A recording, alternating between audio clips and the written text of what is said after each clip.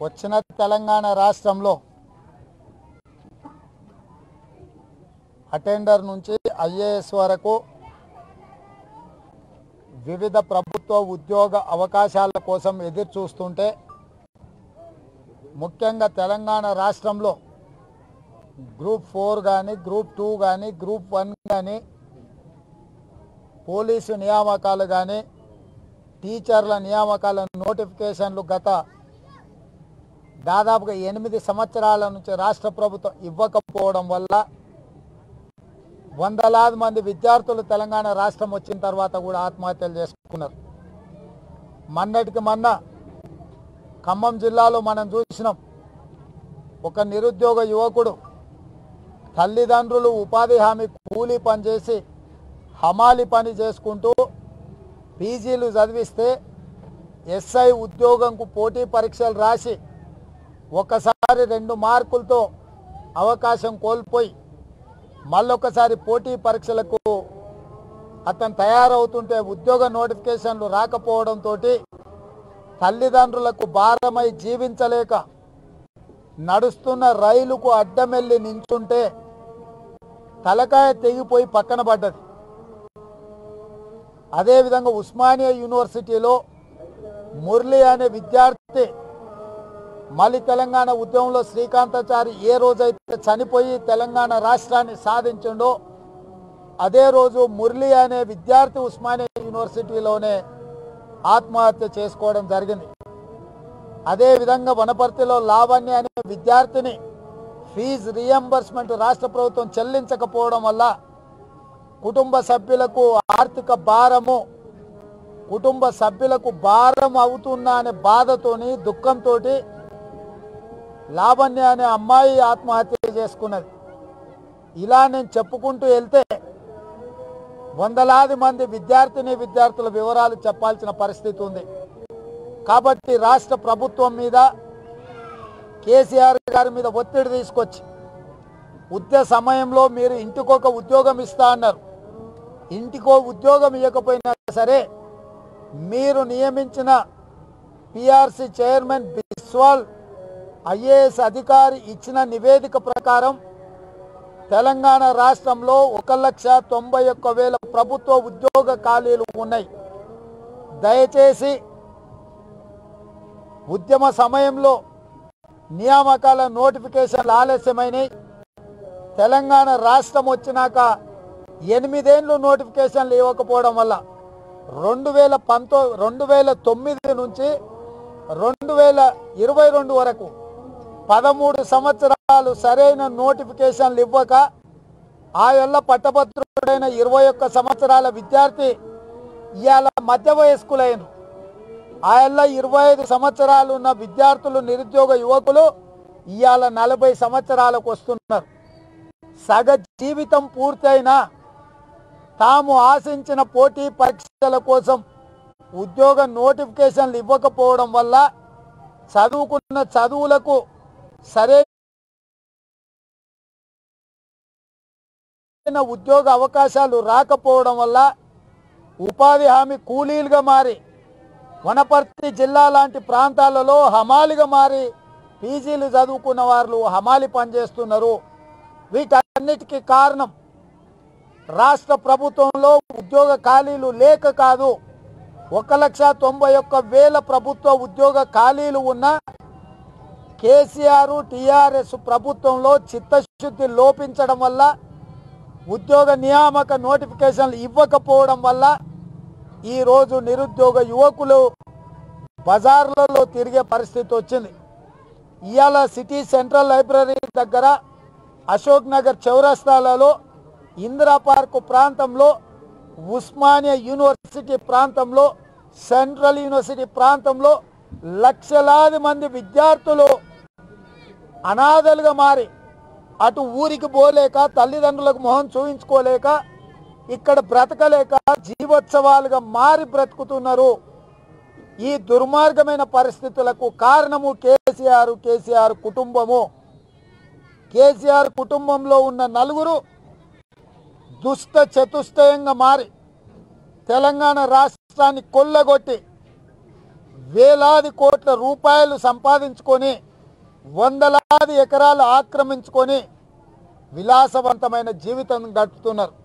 ఇవాళ వాళ్ళ అనుచరులు బరి తెగించి నేను ఇంతకుముందు పోలీస్ స్టేషన్లో చూ టీవీ చూస్తుంటే ఉస్మానియా యూనివర్సిటీ ఏ తెలంగాణ ఉద్యమానికి గడ్డైందో తెలంగాణ ఉద్యమ స్ఫూర్తిని ఉవ్వెత్తున లేపి లక్షలాది మంది విద్యార్థులను వీధుల్లోకి తీసుకొచ్చి రాష్ట్రాన్ని సాధించును ఇవాళ ఉస్మానియా యూనివర్సిటీ విద్యార్థులు ఫిబ్రవరి పదిహేడు తారీఖును నిరుద్యోగ దినోత్సవంగా భావించి నిరసన కార్యక్రమాలు తెలుపుతామంటే టీఆర్ఎస్ విద్యార్థి విభాగానికి సంబంధించిన గూండాలు బహుజన విద్యార్థి సమైక్యకు సంబంధించిన విద్యార్థుల మీద పాశవికమైన దాడులు చేశారు ఇక్కడ ఇట్లుంటే కొడంగల్ నియోజకవర్గంలో నిరసన తెలపడానికి వచ్చిన వాళ్ళను పోలీసులు అరెస్టు చేస్తున్నామని కొంతమంది ముఖ్యమైన వాళ్ళను పోలీసు జీబుల్లో ఎక్కించుకెళ్ళి తీసుకెళ్ళి అక్కడ స్థానిక ఎమ్మెల్యే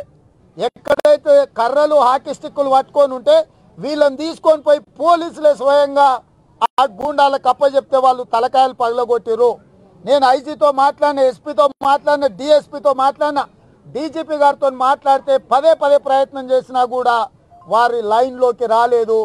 సమావేశాలలో ఉన్నారని చెప్తారు నాకు నిజంగా అసలు నాకు జాలి కలుగుతుంది. పోలీస్ డిపార్ట్మెంట్లో ఉన్న కొంతమంది ఉన్నతాధికారులు బానిసల కంటే అధ్వానంగా తయారైనరు. ఇంత బానిస బతుకు డీజీపీ లాంటి అధికారికి అవసరమా అని నేను అడుగుతున్నా. కనీసము మీరు రిటైర్మెంట్కి ఇంకొక వన్ ఇయర్ ఉన్నది. మీరు ఈ వన్ ఇయర్ అయినా నిష్పక్షపాతంగా పనిచేయండి మహేందర్ రెడ్డి గారు. నీ కింది స్థాయి అధికారులు ఇతర పార్టీలు ఇతర నిరుద్యోగ యువకులను ఇండ్ల కాడికి పోయి మిమ్మల్ని ప్రివెంటివ్ అరెస్ట్ చేస్తున్నామని తీసుకొచ్చి పోలీస్ జీపులలో ఎక్కించుకొని పోయి టీఆర్ఎస్ నాయకులకు అప్పచెప్పి తలకాయలు బలగొట్టిస్తుంటే పార్లమెంటు సభ్యుడిని ప్రతిపక్ష పార్టీ అధ్యక్షుడిని పదే పదే మీకు ఫోన్ చేస్తే మీరు ఫోన్ లైన్లో కూడా రారా? మీకు ఇంత అహంభావం ఇంత బలుపా డిఎస్ డీజీపీ గారు? మీ నెత్తి మీద ఉన్న టోపీ ప్రజలు ఇచ్చింది మేమిచ్చింది. నువ్వు ప్రజాప్రతినిధులకు సమాధానం చెప్పాల్సిన బాధ్యత నీ మీద ఉంది. నువ్వు చదువుకున్నోడివి ర్యాంక్ స్టూడెంట్ కదా చదువుకునేటప్పుడు నీకు ప్రోటోకాల్ తెలీదా? ఒక పార్లమెంట్ సభ్యుడు ఫోన్ చేస్తే నీకు ఇంగిత జ్ఞానం లేదా? వెనక్కి తిరిగి ఫోన్ చేయాలని. పోలీసులను బానిసలుగా మార్చి టిఆర్ఎస్ కార్యకర్తల కాలు కింద చెప్పులాగా ఉపయోగించుకుంటుంటే నీకు సిగ్గు లేదా?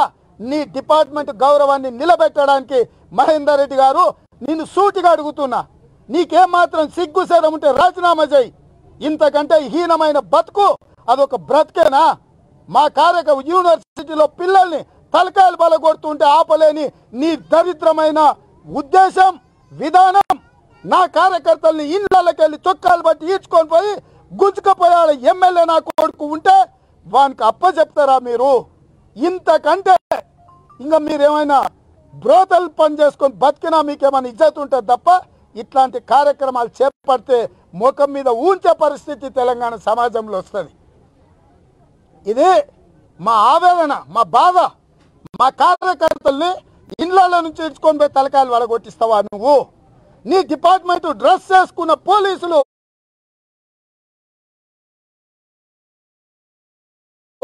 మా కార్యకర్తలు ఇండ్ల మీదకి వచ్చి లాక్కెళ్ళి వాళ్ళకి అప్పచెప్తారా ఒకవేళ మేము అనుకుంటే వాళ్ళు నువ్వు ఎవడైనా సరే రోడ్ల మీద ఎట్లా తిరుగుతాడో చూస్తాను నేను చెప్తున్నా ఈరోజు. రోజు ఎప్పుడు రాజ్యం ఇట్లా ఉండదు. వస్తుంది మా రాజ్యం వస్తే బిడ్డ ఒక్కనొక్క లెక్కగా తప్ప అప్పచెప్తా మీరు అనుకుంటుండేమో మీరు అనుకుంటుండొచ్చు ఎప్పటికీ వాడే ఉంటాడని.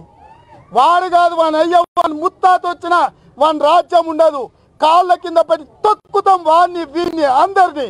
మీరు అనుకుంటురేమో నేను వరదిలాలి తెలంగాణలో ఉన్న లక్షలాది మంది విద్యార్థులు నిరుద్యోగ యువకులు చేసిన తప్పేందని నేను అడుగుతున్నా. నిరసన తెలపడం ప్రజాస్వామ్యంలో మా హక్కు.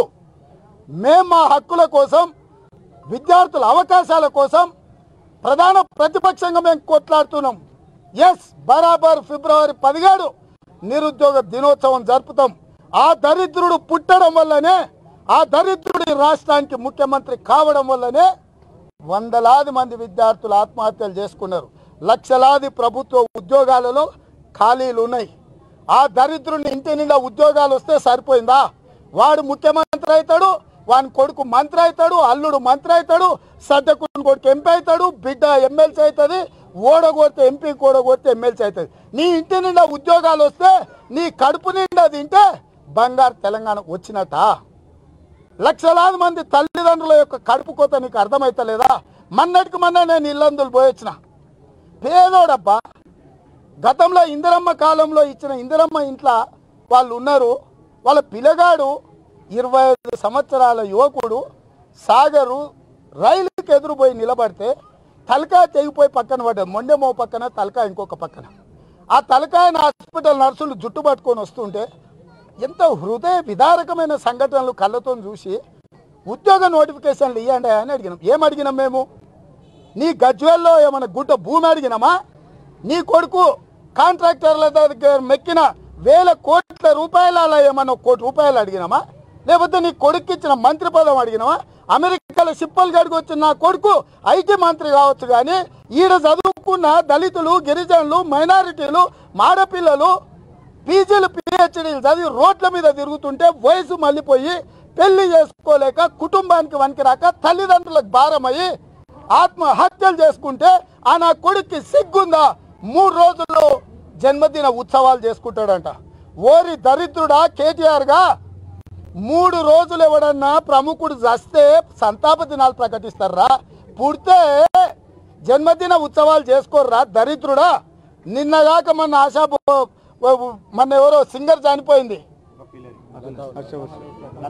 లతా మంగేష్కర్ గారు. అంతకంటే ముందు రోసయ్య గారు. అంతకంటే ముందు ప్రణబ్ ముఖర్జీ గారు చనిపోయినారు.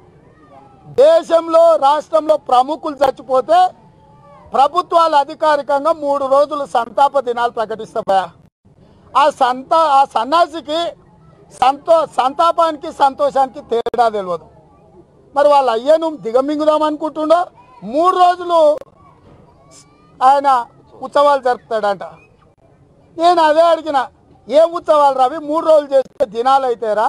మూడో మూడు రోజులు అనేది సంతాప దినాలు. నీ తండ్రికి సంతాపం పెట్టదలుచుకున్నావా? పిండం పెట్టదలుచుకున్నావురా? కేటీఆర్గా నీకు నీ అయ్యా ముఖ్యమంత్రి ఇవ్వకపోతే ఇంట్లో మెత్తబెట్టి గొంతు విసుకు.